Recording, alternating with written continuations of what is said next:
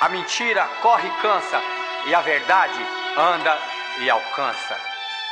Final dos tempos, fim do mundo, você sabe como é. Bagulho tá doido, o homem é sujo, tá vendendo até a fé. De lá da frente o pastor grita que é pra todo mundo ouvir. Não tem dinheiro, não tem cheque, traz o seu cartão aqui. Pode ser Visa ou ser Diners ou até o Mastercard. Pra nós não importa o sim o quanto tu vai dar. Ainda hora, sim, senhor. Proteja esse nosso irmão que deu pra nós tudo que tinha. Não dá cadeia, é doação. De madrugada na TV, o cara fala que eu te escuta. Nossas igrejas para mim tá parecendo prostituta. Se não tem nada é meia boca, se é milionário tô completo. Só falta para igualar, pastor transar em campo aberto. Brasil, país das maravilhas e país das facções. Tem o CV, o PCC, a Universal Televisão. Direto fala que o Marbola, o Fernandinho Beiramar se encontra preso porque crime eles foram praticar. Edir Macedo não vai preso, é um honesto cidadão. Melhor dizendo, não vai preso porque não é lá do capão. Brasil tá mesmo precisando, é de um Bin Laden de bombeiro. Daquelas que é branco e vinho, um vida louca com certeza. Que não tem medo de falar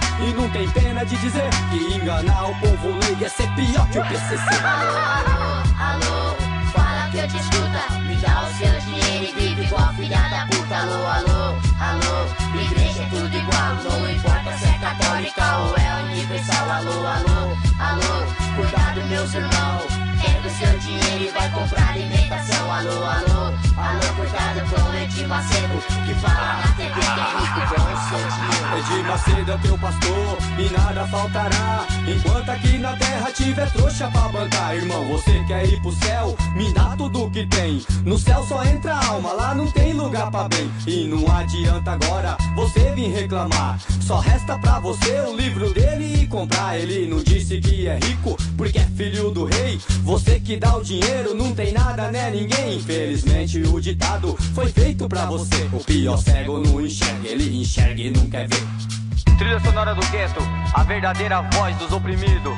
Aí, eu usei o Edir Macedo de exemplo, porque é o mais cara de pau que vai na televisão dar entrevista pra lançar seu livro e fala que é rico porque é filho de Deus, achando que nós que vai na igreja buscar uma melhora pra nosso espírito, pra nossa fé, não tem, não tem dignidade de ter as coisas. Mas aí, igual ele tem várias aí, vários pastores, várias igrejas de várias denominação que só pensam em dinheiro. Você vai na igreja, o cara não pergunta se tá faltando um arroz, um, um feijão na casa do irmão da igreja, pra perguntar se o outro não tem dois pra trazer pra dividir. Eles falam pra você assim, ó.